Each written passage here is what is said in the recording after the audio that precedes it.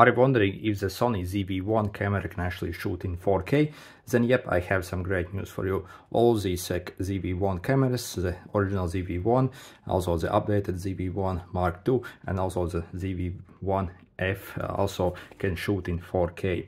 So when we go to the settings and choose file format, you can see it can shoot either in 4K or also full HD basically and when it comes to frame rate you can see it can shoot at 25 frames so uh, we do not get 60 frames or uh, 120 frames on these uh, cameras basically.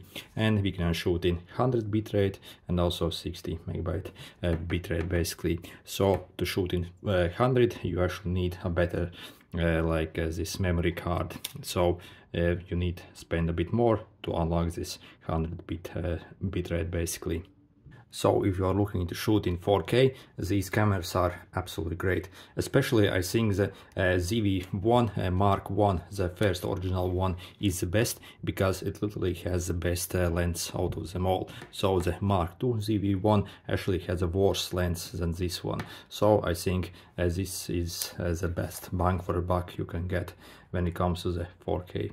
And yeah, I think this camera is really good. Good luck.